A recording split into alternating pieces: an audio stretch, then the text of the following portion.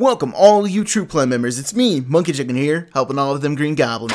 Well anyways guys, the topic of today's video is how to make an impenetrable base on woodycraft.net factions bravo. And with that, let's go and begin. Okay guys, so first, before I tell you how to make this base, I'm gonna have to tell you why it works. So let's go and start off with the basics. As most of you guys probably already know, Obsidian will not get exploded by TNT. But in Woodycraft Faction Bravo, he's running a plugin called Obsidian Destroyer that allows Obsidian to get destroyed after 3 TNT explosions. So what people do to combat this is to cover their Obsidian base with water. Because if you don't already know, while TNT is inside water, it will not destroy anything, even the most fragile of materials. So what raiders will do to counteract this protection is make a TNT cannon that also launches sand, or otherwise known as a hybrid cannon. The reason why is because if TNT is going to explode in water, there's a thing in Minecraft that if falling sand and ignited TNT are in the same block space, the sand will counteract the water effect and allow the TNT to blow up. So what defenders do to counteract this is they put slabs on top of the obsidian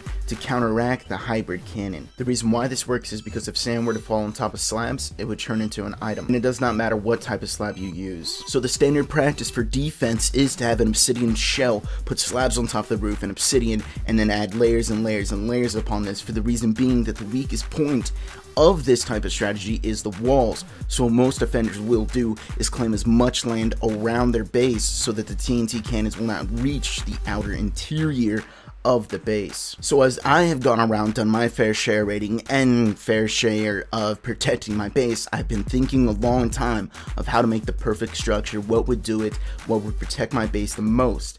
And it finally occurred to me, a pyramid. A pyramid would be the most defensible structure, for the reason being that the quote-unquote sides, you know, in geological terms, are actually ceilings in Minecraft terms because you're able to put the slabs on them. So why people or, or why raiders are attacking your base and they're launching TNT cannons at the quote-unquote sides, it's actually slabs. So as they land on top of these slabs, it would disrupt the sand, the TNT wouldn't work, and it would protect your base. But this base does come with two flaws, but those two flaws are the things that make it the most strongest. Is that if TNT and sand were to lie next to the first layer of slabs there, it could essentially blow up and then slowly open up your base. But if you've ever fired a TNT cannon, you know that it's nearly impossible to be accurate this thing. You nearly set it and hope that it lands where you want it to go. It's not very accurate and it'll be a miracle for you to land next to a single slab, whereas other bases, you have entire 30 block walls to aim at. The second and last soft spot of this base design is the underbelly, which can be easily fixed by adding water to it. Now that I've told you the design and what makes it good and the few spots that it is weak at, I'm going to tell you some places where you shouldn't place it because it would become more vulnerable in those locations.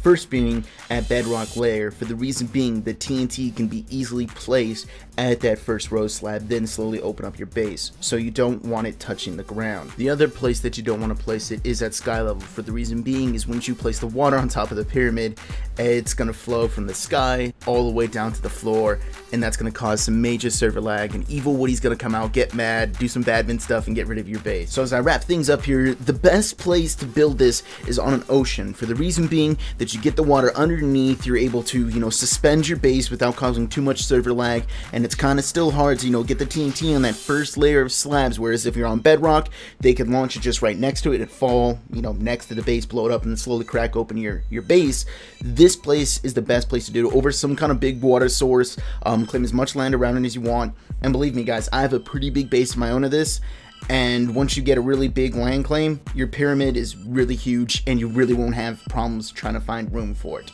Okay guys, reach in this video, so if you don't mind, in the comment section below, please let me know one or more things that you disliked about this video. I'd really appreciate the feedback. And if you guys have any questions, comments, or concerns, please put in the comment section below. I'd also be happy to answer that. And if you guys liked the video, please like it, or if you found it helpful, um, if you guys want to stay updated on all my videos and everything I'm doing, you guys can follow me on Twitch or Twitter. Links are on the screen and down in the description. Uh, two videos that you guys may want to see, um, on the left-hand side is my new Monkeycraft Hardcore edition, where we play Minecraft with a little bit of mods on Hardcore, so we only got one live If we die, it's done and over with. It's pretty cool. A lot of people like it. Um, hopefully you guys like it. So if you're interested in that, you guys can click it, open this new window, takes you to a whole brand new screen. You guys can watch it to your heart's content.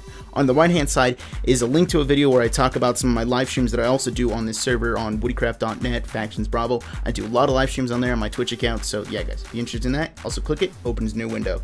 If you guys have stayed this long, hopefully I've earned your subscription. And if you guys do subscribe, welcome to the Troop Clan. Well, anyways, guys, I'm Monkey Chicken. Sorry really got. Peace.